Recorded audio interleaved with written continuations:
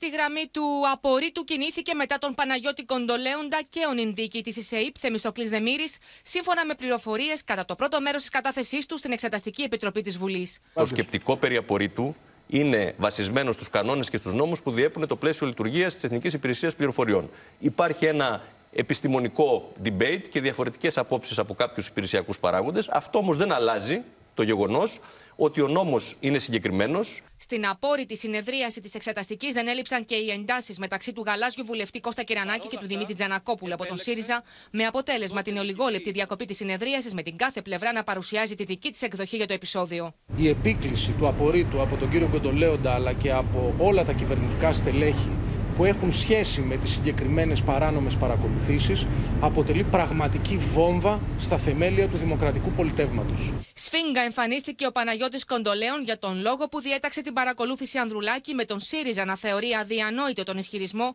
ότι ο Πρωθυπουργός δεν τον ρώτησε ποιοι ήταν οι λόγοι που μπήκε στο στόχαστο της ΕΕΠ ο πρόεδρος του Πασόκ, ακόμη και μετά την αποκάλυψη της υπόθεσης. Σύμφωνα με άλλες πληροφορίες, ο Παναγιώτης Κοντολέων υποστήριξε ότι το Μέγαρο Μαξίμου δεν ενημερώθηκε από τον ίδιο για την παρακολούθηση Ανδρουλάκη από την ΕΕΠ.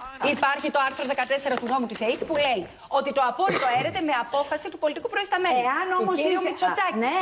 Αν ο Μητσοτάκης δεν παίζει κρυφτούλη, α δώσει το τηλέφωνο, κυρία.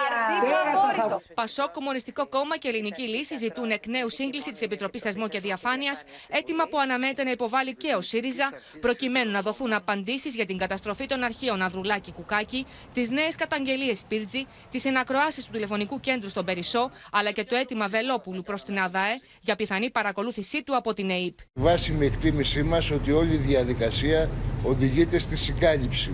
Για τις υποκλοπές το έχουμε πει από την αρχή. Όλα στο φως